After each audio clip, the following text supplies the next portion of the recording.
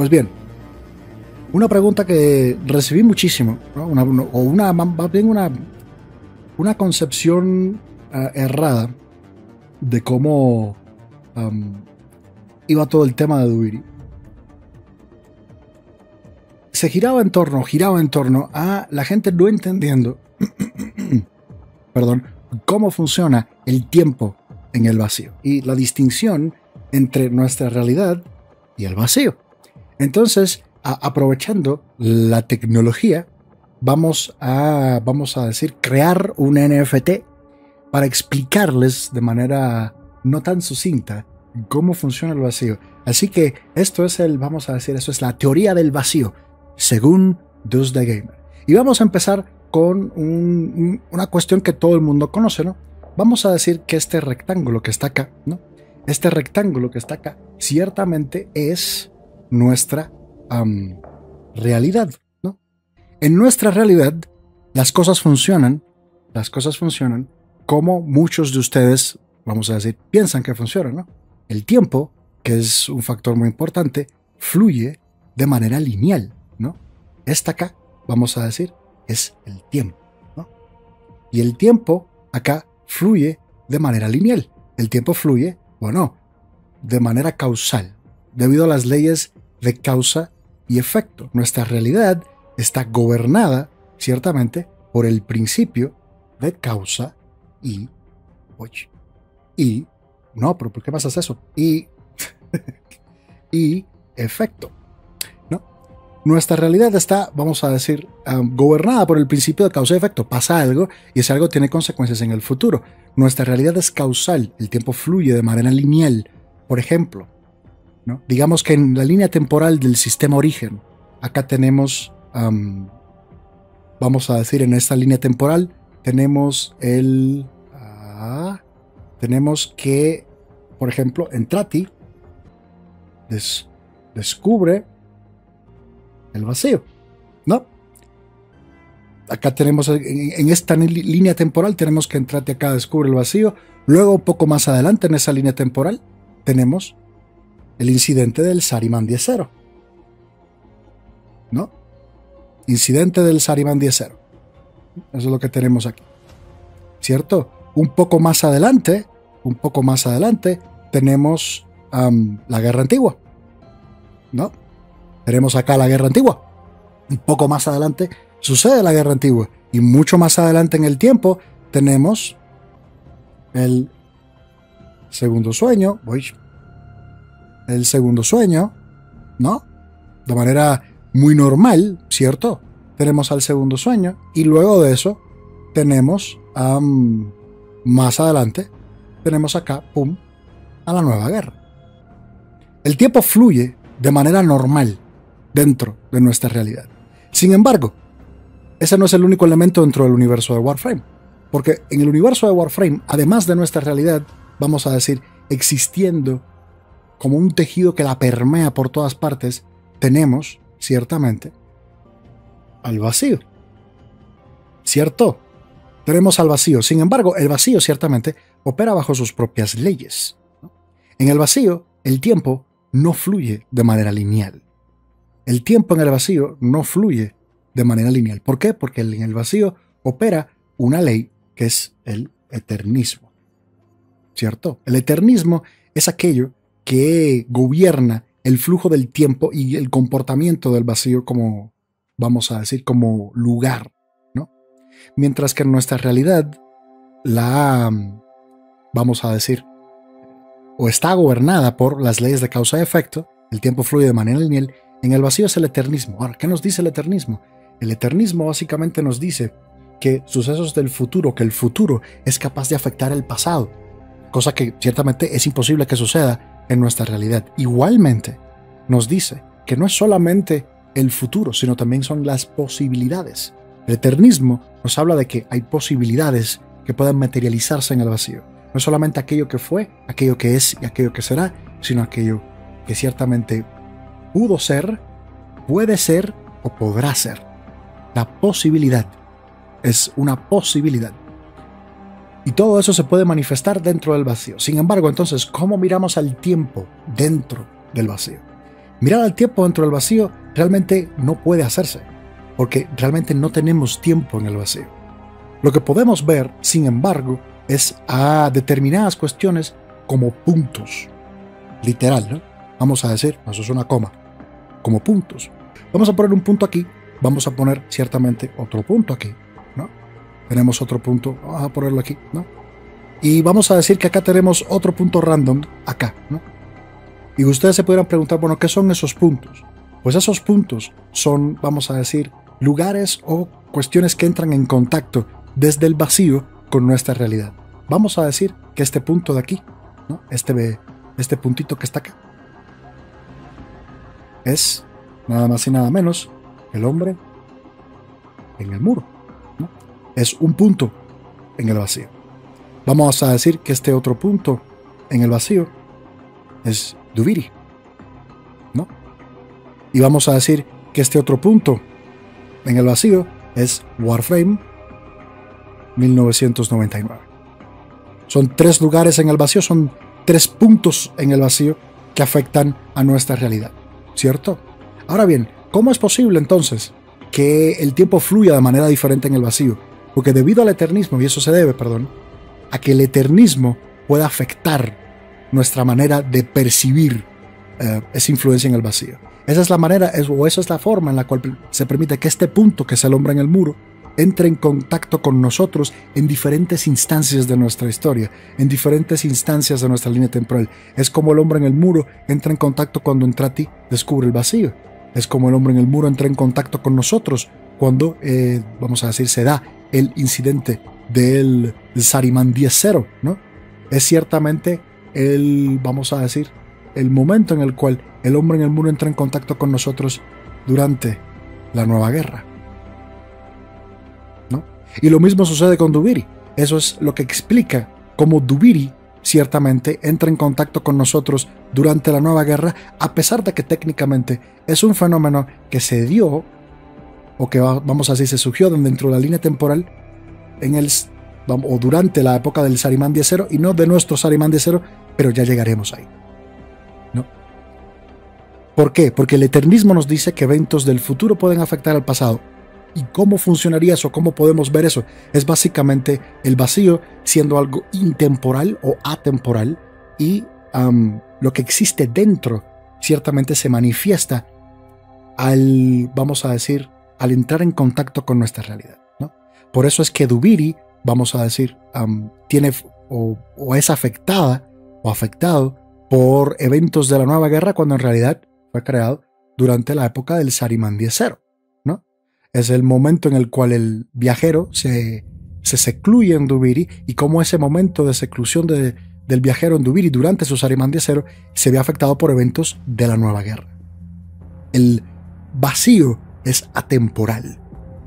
Y como no existe, vamos a decir, una línea de tiempo dentro del vacío debido al eternismo, es la razón por la cual ciertamente eventos del futuro afectan a eventos del pasado.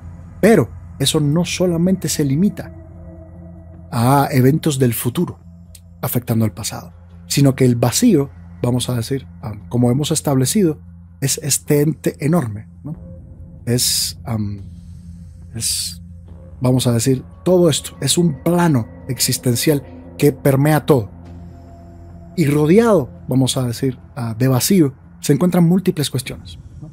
Acá podemos decir que este recuadro que está acá, como habíamos, como habíamos mostrado antes, es nuestra realidad, ¿no? Esta es nuestra realidad. ¿Cierto? Pero sin embargo, el vacío también conecta con otras realidades.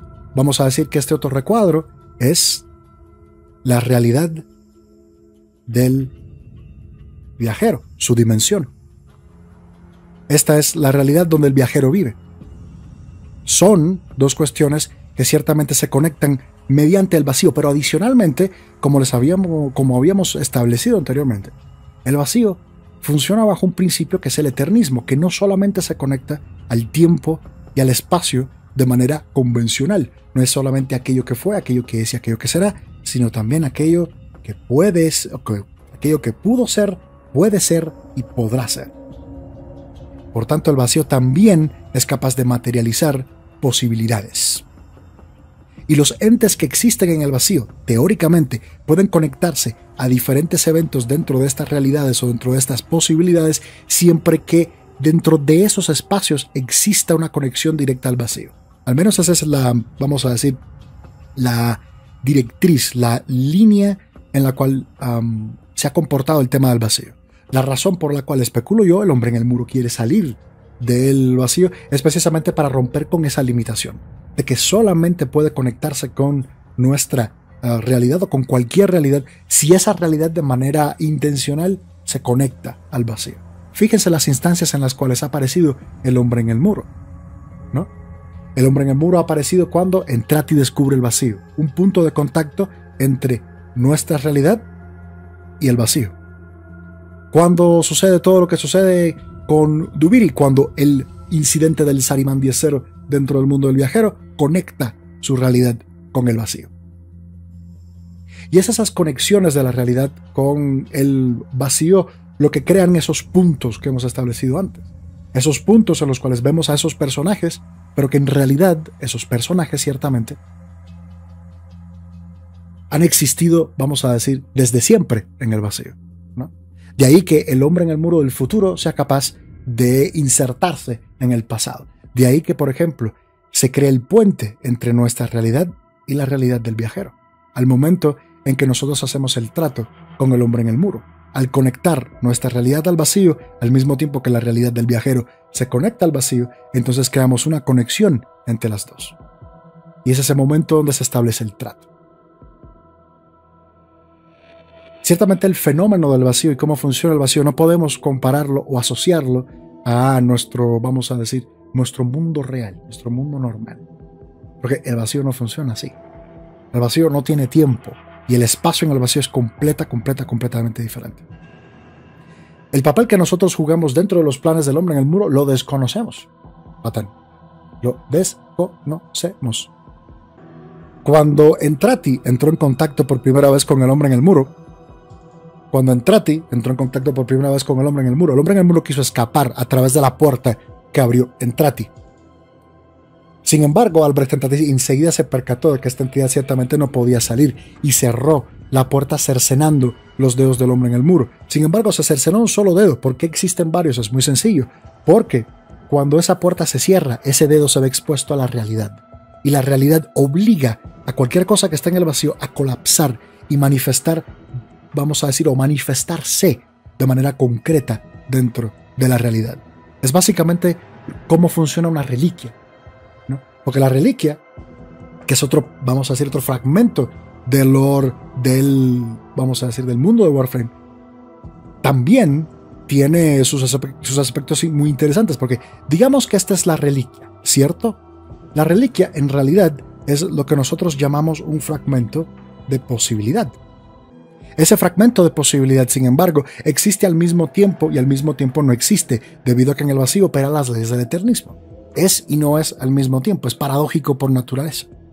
Es y no es, y puede ser todo y nada al mismo tiempo. Sin embargo, eso no nos sirve. Eso no nos sirve. Al final del día, eso no nos sirve porque al final no tenemos, tenemos todo y no tenemos nada.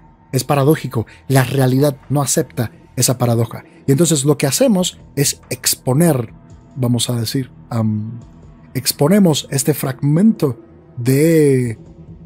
Exponemos este, este fragmento de posibilidad, vamos a decir, a nuestra realidad. Exponemos este fragmento de posibilidad a lo que vendría siendo la realidad. Y esa realidad manifestada a través de esa exposición obliga a que este fragmento de posibilidad colapse y al colapsar manifiesta algo concreto, que es lo que obtenemos de las reliquias. Ese fragmento de posibilidad, al nosotros exponerlo en la realidad a las energías del vacío, hace que se colapse y básicamente nos dé el drop de la reliquia. En los dedos del hombre en el muro son algo parecido. No es igual, pero parecido. Cuando el dedo del hombre en el muro es cercenado, un dedo es cercenado, ese dedo se obliga a manifestarse en todas las formas dentro de, vamos a decir, la realidad.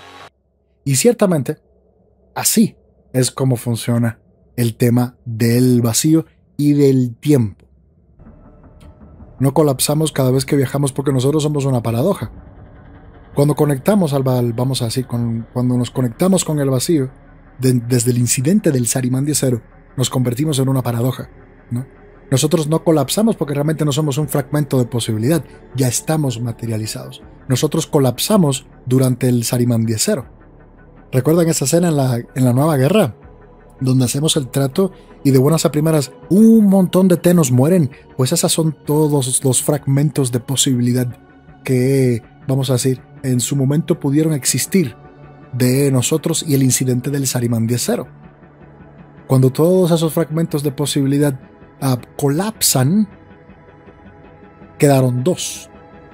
Nosotros y el viajero. Sin embargo, nosotros ciertamente no podemos existir como dos entes o como vamos a decir, dos manifestaciones de un mismo ente en una misma realidad. De ahí que, vamos a decir, intercambiamos lugares, el viajero y el operador.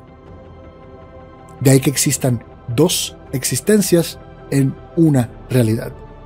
¿El Teno realmente es único? Sí, el Teno es único. Literalmente es único. En ninguna otra realidad o posibilidad existe algo como el Teno o el viajero. Porque todas esas posibilidades se colapsaron. ¿Eso quiere decir que cada uno de nosotros es una realidad? No. cada uno de nosotros es, vamos a decir, es como si hubiéramos abierto una reliquia humana. ¿no? Es, nosotros somos todas las posibilidades de, una, de, de todas las realidades colapsadas en una sola.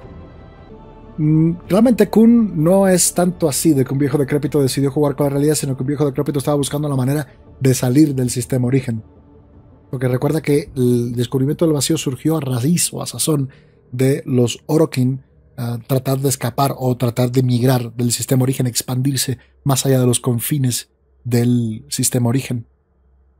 ¿Teshin es el mismo? No sabemos, realmente. El mismo Teshin no sabe. El mismo Teshin no dice que ni siquiera recuerda si estaba vivo o muerto cuando fue lanzado al vacío. Sabemos que es las memorias del mismo ente, pero no sabemos siquiera si es el mismo ente o una proyección. No sabemos si es el Teshin o una proyección de Teshin. Realmente no lo sabemos, al menos por ahora.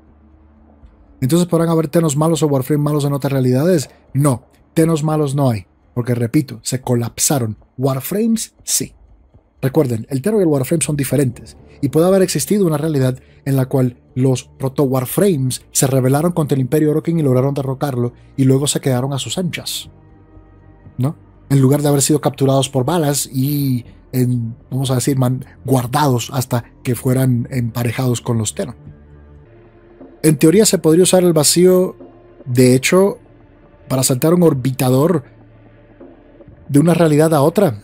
Sí, es perfectamente posible. Si nosotros pudimos hacer que una manifestación del vacío, que es el Sariman dentro del juego, se manifiesta en la realidad y actúe como una suerte de puerta entre el vacío y el mundo real, es perfectamente posible usar el vacío para, vamos a decir, en lugar de, porque acá es donde tenemos que explicar cómo se viaja en el vacío, ¿no?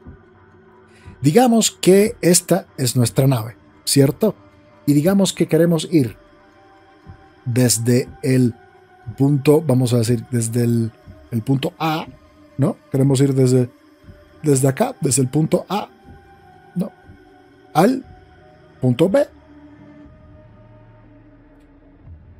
Normalmente, normalmente, la, vamos a decir, la lógica indica que hay que viajar, hay que recorrer esa distancia del punto A al punto B, ¿no?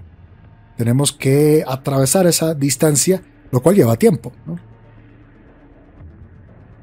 Esa distancia, ciertamente, podemos cambiar nuestra ecuación de tiempo y la podemos ahora poner por distancia, ciertamente tenemos esa distancia. Sin embargo, nuestra nave es capaz de manipular al vacío. Vamos a decir que es capaz de manipular al vacío. Y en lugar de ir de manera lineal del punto A al punto B, simplemente está en el punto A y cuando, vamos a decir, atraviesa el vacío, sale al punto B. Nuestra nave no viaja, no recorre la distancia del punto A al punto B, sino que simplemente se materializa. Primero, de ahí, eso lo vemos por ejemplo en el Railjack, no lo podemos ver del todo porque tenemos pantallas de carga, pero somos un punto, ¿cierto? Acá en A abrimos el vacío y luego nos materializamos como otro punto acá en B. Nos materializamos como otro punto acá en B. Esto de la... Eh, no, vamos a decir, al final no recorremos ninguna distancia. La distancia es completamente irrelevante. Eso es lo que hace el vacío. Nos permite teletransportarnos. Si aplicamos esto en lugar de lugares dentro de nuestra misma dimensión, podemos hacerlo con otra. Es perfectamente posible. Podemos atravesar el vacío por un punto A y llegar al punto B, pero en lugar de que ese punto B sea el punto B de nuestra realidad, puede ser el punto B de otra realidad. Es teóricamente posible. Lo que pasa es que no sabemos si existe el know-how de cómo, vamos a decir, hackear el vacío para hacer eso. Si hubieras una realidad hecha por el escapismo del viajero al leer el libro de cuentos que hace Cullerbo ahí también es era parte del libro. No todo es parte del libro, Kun. El libro es lo que inicialmente crea Dubiri, pero hay muchas cosas que formaron o que existen en Dubiri que forman parte de otros seres. Y recuerda, no es solamente el viajero, sino somos nosotros. todo lo que se crea a partir del viajero también lo creamos nosotros. Y Culerbo, que es en realidad una manifestación de nuestra proyección de balas en el vacío, ciertamente existe en el vacío como una proyección derivada del operador. O podemos creer se derivó del operador. Porque el tema está en que no podemos obviar el hecho de que el viajero y el teno son la misma entidad. La misma entidad. El viajero y el operador no son dos seres aparte, son la misma entidad. Y cuando entramos a Dubiri, por el solo hecho de estar en Dubiri, cambiamos a Dubiri. Kullervo está ahí porque es una proyección de, vamos a decir, nuestra proyección de balas. ¿no? balas proyecten Culerbo a todas las, frustraciones que ven los Warframes. todo lo que culpa a los Warframes de haber sido, ¿no? de, haberse revelado, de ahí los siete crímenes. Los siete crímenes en realidad no son más que, vamos a decir, las proyecciones de balas sobre eh, los Warframes en general. Puede interpretarse como esa metáfora, ¿no? De balas culpa a los Warframes por todas las cosas que han hecho. Traición, rebelión, todas esas historias, que todos son los crímenes de Kullervo, literalmente son todo lo que hicieron los Warframes. ¿Dominus Trax es un fragmento del hombre en el muro? No. Dominus Trax es una creación del viajero. Es básicamente depositar parte de sí mismo en el juguete. Es posible viajar a otras realidades en Warframe, claro que sí. Y otras realidades también pueden viajar a la nuestra, como lo hizo el viajero. Por supuesto que es posible dentro de la manera en la cual han construido el vacío. Pero al final la llave de todo eso la tienen los desarrolladores, ¿no? Ellos son los que pueden decirte, bueno, para hacer eso tienes que primero conseguir esto, ¿no? Porque ciertamente no es chasquear los dedos y ya está. Espero, espero que esta pequeña discusión, esta pequeña charla sobre cómo funciona el vacío, si no les haya aclarado, menos les, haya hecho ver el hecho de que no podemos decir, bueno, este evento que sucede en el vacío sucede en paralelo, sucede al mismo tiempo que eventos en nuestra realidad, porque el tiempo en el vacío no funciona igual y ciertamente las leyes de nuestra realidad no, no son compatibles con las leyes del vacío. Culervo nunca existió, no, Culervo existe porque lo tienes en tus manos. sin embargo, podemos interpretarlo como una proyección en el vacío, o del vacío, más bien. A ver, incluso teniendo la, teoría de la manifestación del vacío, fue creado por balas. Es literalmente una manifestación de nuestra proyección de balas en, el, en Dubiri, lo que crea a Kullervo. Porque e, ese, vamos a decir, esa proyección de balas proyecta en Kullervo los siete pecados de los Warframes, o los crímenes de los Warframes. Todos los crímenes que cometieron los Warframes, y los pone, o vamos a decir, los, los concentra en Kullervo. En el juego puede existir ocho realidades y estar jugando en la realidad OUL. El tema de los Requiem ya eso es otra historia, ¿no? El tema de los Requiem lo vamos a dejar para cuando salgan susurros en las paredes. Ese tema de los Requiem lo quiero dejar para ese momento. ¿no?